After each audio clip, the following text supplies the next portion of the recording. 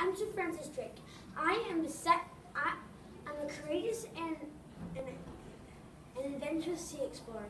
I'm known to be the second person to go around the globe, so I was a hero. On my voyages, I also collected spices.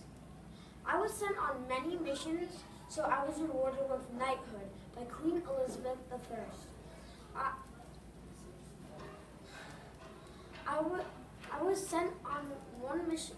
I was sent on the most secretive mission ever in England history to destroy the Spain.